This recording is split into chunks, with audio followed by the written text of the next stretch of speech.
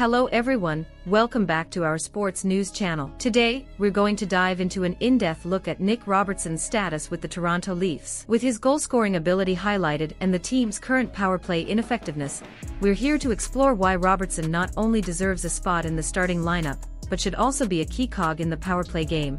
Let's get straight to the point. Nick Robertson's best trait is his ability to score goals. He consistently stands out as one of the team's top scorers. However, surprisingly, he is often left out of the starting lineup. This raises questions about the team's tactical decisions. One of the Leafs' biggest problems is the power play, which is weaker than it should be. And the most curious thing is that they don't even use the team's second best scorer, who has an elite shot in the NHL. We are talking about a valuable weapon that is being underutilized. Among the players being selected ahead of Robertson, Dewar, Reaves, Kampf, Domi, McMahon, Holmberg and Jarnkrok, exactly none of them have the ability to decide a game like Robertson. It's important to note that a simple lineup change made by Sheldon Keefe could have a significant impact.